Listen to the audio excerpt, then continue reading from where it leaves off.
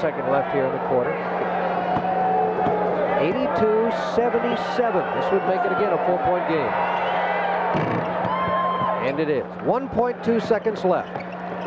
Third quarter. Kersey. Oh, he got it! It counts! Jerome Kersey! What a way to end the quarter!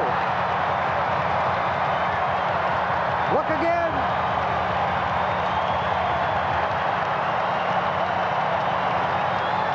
It's all twine.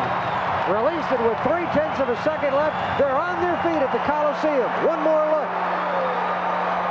About a 55-foot shot.